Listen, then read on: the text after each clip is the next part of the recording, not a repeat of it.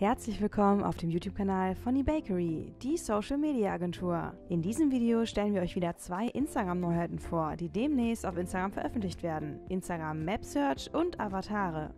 Wenn euch das Video gefällt, dann gebt uns einen Daumen nach oben und abonniert den Kanal.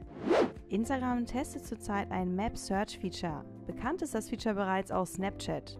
User können mit dem Maps-Feature nicht nur gelistete Unternehmen in der App auf einer Karte sehen, sondern auch die Location zu öffentlichen Posts finden. Durch Hashtags können Restaurants, Geschäfte und andere Unternehmen gefunden werden. Unternehmen profitieren davon, denn sie bekommen dadurch mehr Sichtbarkeit.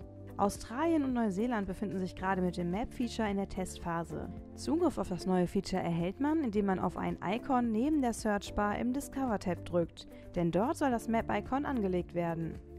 Nicht zum ersten Mal holt sich Instagram Inspiration für ein neues Feature bei der Konkurrenz. Erst vor etwas über einem Jahr wurde das TikTok-Format von der App kopiert und als Instagram Reels gelauncht. Stories wurden nach dem Erfolg von Snapchat Stories auch auf Instagram eingeführt. Das neue Map-Feature ist somit eine weitere Funktion, für die Snapchat als Vorlage genommen wurde. Wann die Instagram-Kartenfunktion hier bei uns in Deutschland verfügbar sein wird, ist zum jetzigen Zeitpunkt noch unklar.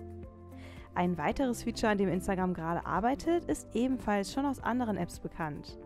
Auf Twitter kam heraus, dass bald Avatare von Usern als Sticker in Instagram Stories eingefügt werden können.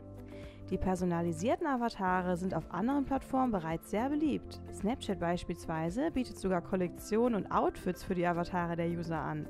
Große Modemarken arbeiten mit Snapchat an Modekollektionen, um Outfits für die Avatare zu erstellen. Das könnte bald auch auf Instagram der Fall sein. Bei den vielen neuen Features, an denen Instagram gerade arbeitet, verliert man schnell den Überblick und die große Menge an Features kann sogar abschreckend wirken. Genauso war es nämlich vor einigen Jahren mit Facebook, woraufhin viele User zu Instagram wechselten, wo alles noch ganz simpel war. Zurzeit sieht man diesen Wechsel von Instagram zu TikTok. Es bleibt also spannend, wie sich Instagram in den nächsten Monaten entwickeln wird. Was haltet ihr von den vielen Erweiterungen? Schreibt es uns doch in die Kommentare.